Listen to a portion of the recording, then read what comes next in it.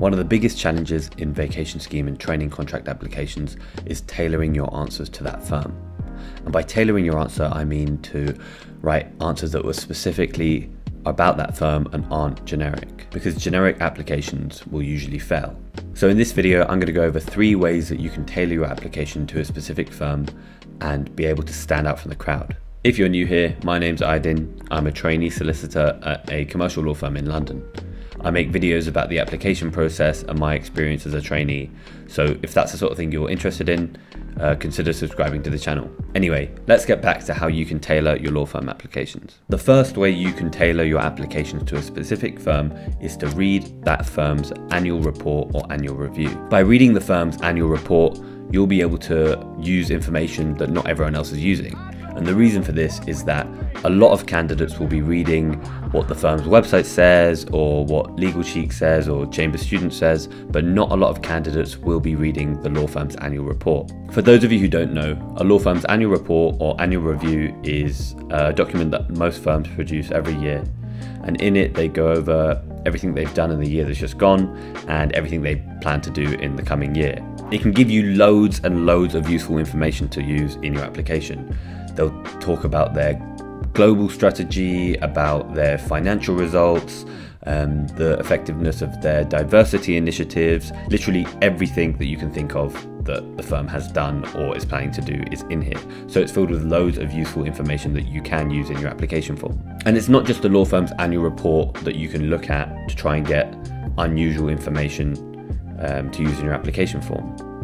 Finding unique sources of information about that firm will let you tailor your application and also stand out from the crowd where everyone else might be saying similar things. Another potential source of unique information could be law firm podcasts. A lot of firms are doing this right now, and in it, they talk to their clients sometimes. They talk about the deals that they do. Um, they sometimes talk about the changes in the sectors that they work in. So there's loads you can pick up from there, and it's not really a common resource that applicants will use when they're doing their application forms. So if you do look into those things, you'll be able to stand out from everyone else applying. A second way you can tailor your application is to speak to people at the firm to find out what it's really like there. When you speak to people at the firm, they'll give you their unique experiences, which will be a bunch of things that they've experienced through their time at the firm. And by definition, just because you're speaking to individuals who will have different experiences, these will be unique and tailored to that specific firm. As well as that, if you've reached out to someone and spoken to them and got their views on certain elements of what the firm's doing, that's not going to be something that's on an application brochure and it's not going to be something that everyone else will be able to say as well. So, for example, you might be really interested in the CSR or corporate social responsibility initiatives that are taking place at a firm. So, what you can then do is reach out to a trainee at the firm who's involved in the CSR initiatives that the firm's running and learn more about how they really work from their experience. You can ask things like how they prioritize their work obligations with their um, social responsibility obligations, or how applications work to join these committees, or things like what the plans are for the coming year. So when you write about CSR in your application now, you'll be able to bring in this information that you've got from speaking to this trainee. That'll make your answer more tailored and more unique. You can reach out to trainees on LinkedIn to see if you can get these sorts of conversations started. I've got a video on how best to do that, and I'll link that in the description below. But otherwise, when you go to open days, networking events, virtual events, just keep a note of anything that anyone says that you think is interesting and you might want to use in your application, and also make a note of their name as well. So if it comes up, you can say that this is the person who you heard this from. The third way you can tailor your application answers is by specifically tailoring your application answers to you. This is because you are completely unique and there is no one else out of the 7 billion people or 8 billion people or however many billion people there are in the world There you go. Out of the 7.753 billion people in the world, there's not one of them who've had the same experience as you. Now, tailoring your answers to you is a really important step in the application answer process. And it's one that a lot of candidates fail to do.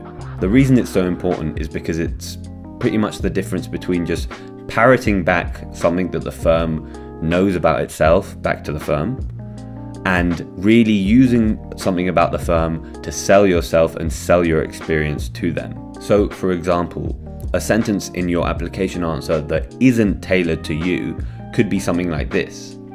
I'm drawn to the firm as it has offices in over 20 countries and engages in complex international work.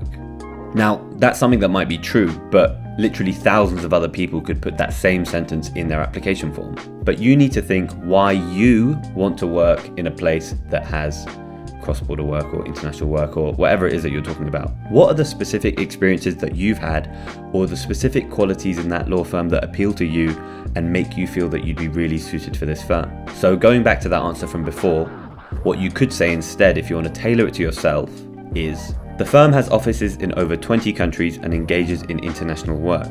Having spent a year of my undergraduate degree studying abroad in France, I developed an understanding of different legal systems and working cultures, and I'm keen to explore this in a work environment. In that second example, you can see that you've really said why the 20 officers of the firm and the international work and stuff appeals to you. It's because you've had this experience in the past where you've been exposed to international stuff through your year abroad in France, and that's what you want to carry forward into the firm. And what's important is that second bit, talking about your experience going to France, whatever it is, um, not only makes a sentence more interesting because it's just interesting to know what people have done, but also it makes it more unique to you and it makes it something that not everyone else will be able to write because not everyone else has had the same experiences as you. So that's an example of how you can use your experiences to really tailor your answer and make it completely unique. So that brings us to the end of this video on how you can tailor your answers for the law firm applications. I hope these tips will help you improve in your applications and impress the firms you're applying to and ultimately get further in the application process. As always, let me know what you thought of this video by leaving a thumbs up, a thumbs down or a comment down below. And as I said at the beginning, if you're doing applications right now or you're interested in the trainee experience, I'll be putting videos like that out in the future, so do consider subscribing. I've also got an Instagram page which I use to post updates and ask for video ideas. So if you've got any ideas for future videos that you think you'd want me to do, follow me there and do send me a message. Anyway, I hope this helps you out and I'll catch you next time.